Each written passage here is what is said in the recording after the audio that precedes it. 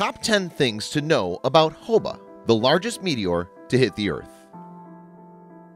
According to scientists, meteoric materials falling towards Earth every day amounts to hundreds of pounds. Good thing about it is that most of them degenerate before reaching the Earth's surface. Some of them, however, reach the Earth's surface intact, and the best example is Hoba, that's the largest of the meteoric objects to hit the Earth till date. It also raises many questions in the minds of scientists and viewers, and here are the top 10 facts about the largest meteor ever to hit the Earth.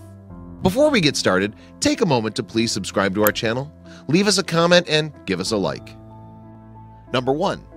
Despite being super heavy, it did not cause any damages. When one gigantic meteor hit the Earth around 65 million years ago, it wiped out the entire dinosaurs. Yet, when Hoba hit the Earth, it did not create damages and went almost unnoticed. Fact remains that it's the world's largest and heaviest meteor which is intact. Though other heavier and larger meteors have fallen at times, they disintegrated before reaching the surface of the Earth. Number 2. It landed close to a city without causing damages.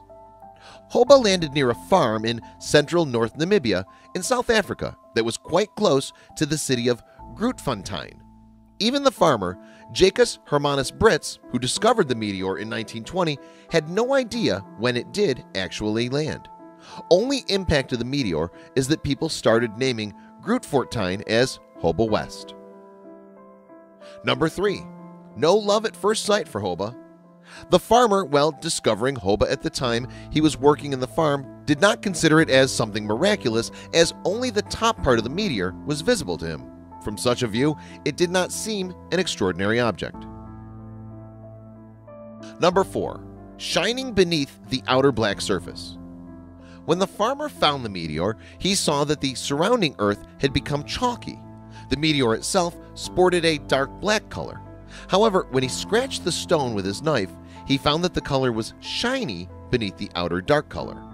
Brits had no idea about the object, but when the local authorities arrived on his informing them, they confirmed that the object was a meteorite.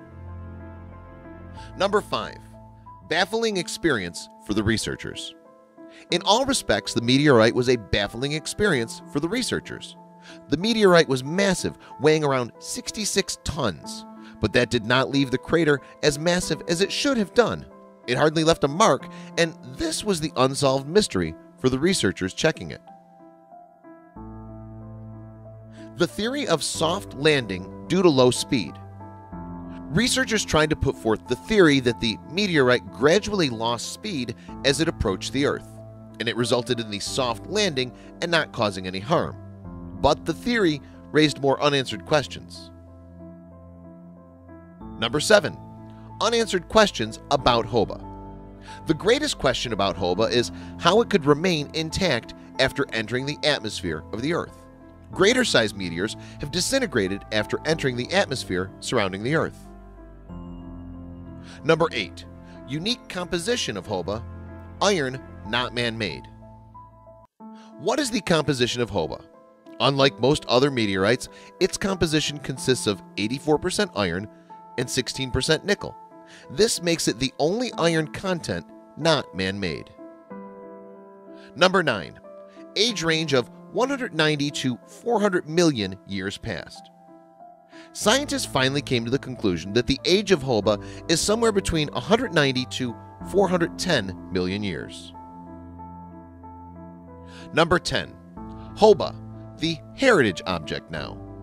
First during the year 1955 and then afterwards, Hoba has developed into an object of tourist attraction. After the farm owner donated the meteor to National Archaeological Department in 1985, it's been made a heritage place and visited by tourists from all over the world.